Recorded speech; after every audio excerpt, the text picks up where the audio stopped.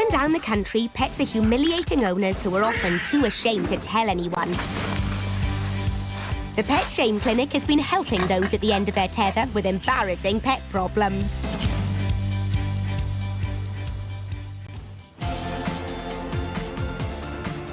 In South London, Dylan, the anxious Dalmatian, isn't just shy, he's a nervous wreck. And his bad behaviour has been giving owner Tristan a headache. Vet Marc diagnosed behavioural problems and today is paying Dylan and Tristan a home visit. With him is specialist dog behaviourist Dr Roger Mugford. Oh, yeah. With strangers in the house, Dylan reverts to his usual nervous behaviour. Hey, boy. So, Tristan, what do you do to Dylan to try and calm him down? Uh, I try and stroke him and just keep him quiet and put him in his bed, but normally I end up having to go out with my friends. On the face of it, Dylan is an extremely distressed and unhappy dog. But actually, I think he's working to a plan, a fiendish canine plan, which is to get more and more and more of Tristan's attention. And a lot of dogs use this uh, technique, and so basically the manipulative psychologist is the dog and the victim is the owner. I think we have a case of a bit of fakery, uh, and indeed we've got to find a way that's simple and easy for Tristan to, to operate to change Dylan's behaviour. Roger's diagnosis means that Tristan needs to be more confident and keep a check on this fakery. Oh, yes, I'm the pretender. A front control harness is the tool that will enable Tristan to take charge of Dylan. So, hey, will he take a treat from me, I wonder? Using treats to tempt him, Roger teaches Dylan to trust him, leaving Tristan out of the equation. Oh, yes. That's a really positive indication, you know. Could you step away Yeah. or step towards me? Yep. And then you remove that security blanket, Yeah. which you have become for him. Because I want him to relate to Marc and to myself, strangers, uh, as uh, suitable subjects for trust. Marc, treat for him. Now that is actually quite a confident act by Dylan, wasn't it? So would you walk around us in a big circle? Thank you.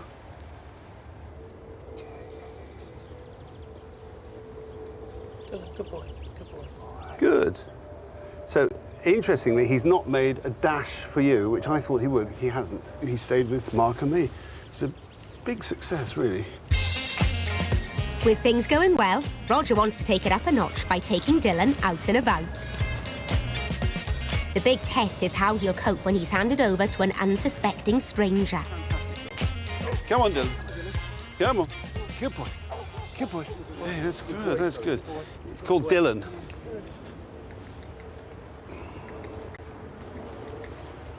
You're a star. I'll give you some treats to give to actually him. Here's, here's a treat. Oh, perhaps not. Perhaps not. Oh, poor Dylan's losing his nerve. Oh, love him. and don't worry, don't worry. Oh, Hey, you. that was all a bit bit much for a chap. Let's let's walk up again. Yeah. But Roger's not giving up that easily. Hey, that's good. That's good. It may look like one step forward and two back, but on the second attempt, Dylan's more relaxed. Do we expect this sort of progress? I'm very optimistic of a positive outcome for this dog, but he's on the way towards having a fully settled urban dog, which is a pleasure to have and, and not a, a nuisance to other people. There's still room for improvement, but it'd be good to see him doing it more regularly and without being like forced into it. It'd be nice.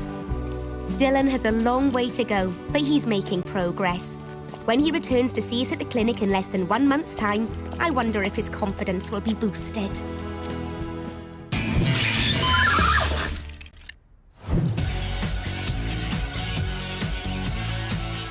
Julian Hopkinson has had four-year-old bull mastiff Lulu since birth. He breeds mastiffs and also has Lulu's mother and her sister. But Lulu has a special place in Julian's heart. Oh, she's exceptional. She's so happy. She's a treasure to be with. She will follow me to the end of the earth.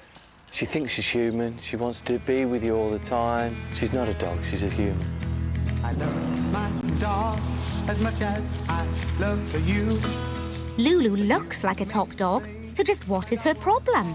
Lulu goes to stud, she goes to see her boyfriend, she falls pregnant, we know she conceives, but halfway through the pregnancy she loses the pups. And she's done that the last two times that she's, she's been to stud.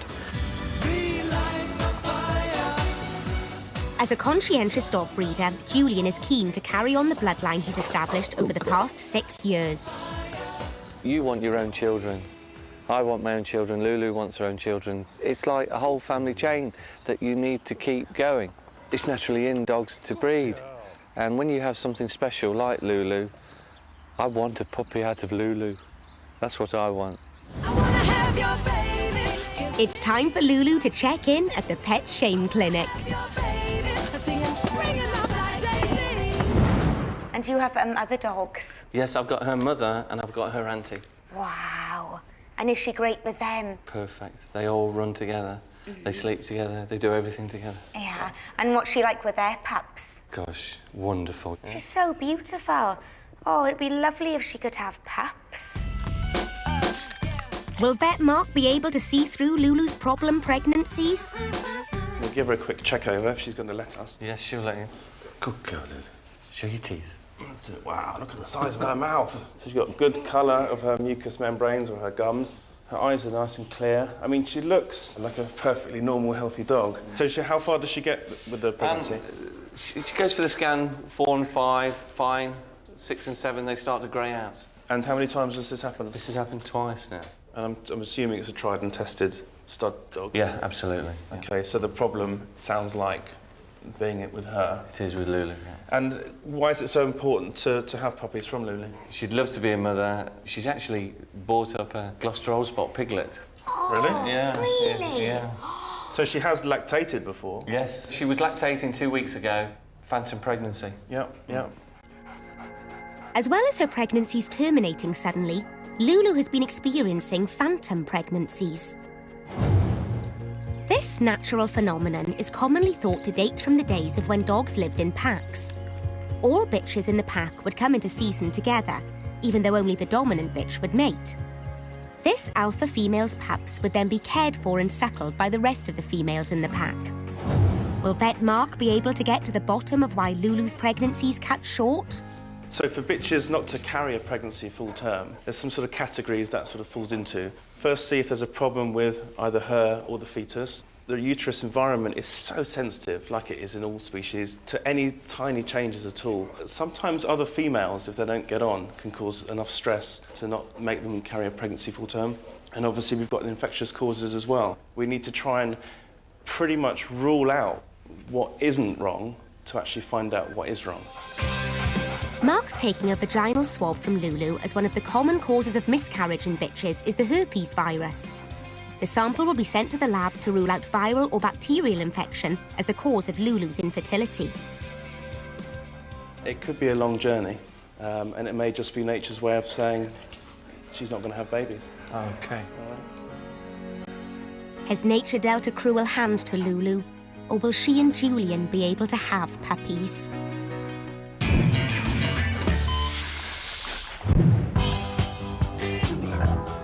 Moog is a four-year-old rescue cat whose owner Jody has endured a stinker of a problem ever since he got her three and a half years ago.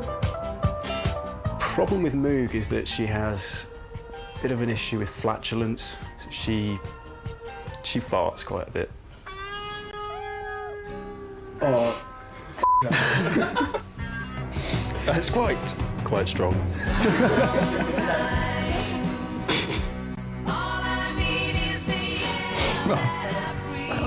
she tends to do it as well at inappropriate moments when maybe I've got people round or even r- r- last thing at night, so you're just about to go to bed, off goes the light, and then suddenly the whole room is filled with gas.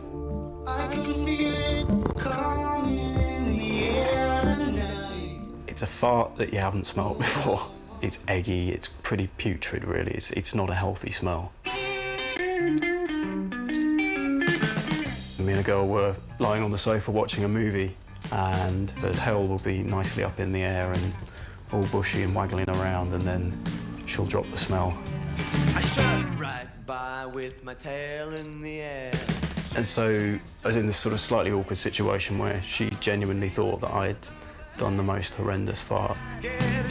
Will vet Marc be able to get to the bottom of Moog's problem?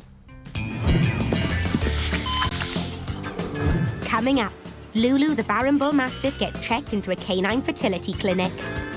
Good girl, good girl. And we sort out more awkward animal issues in our problem gallery.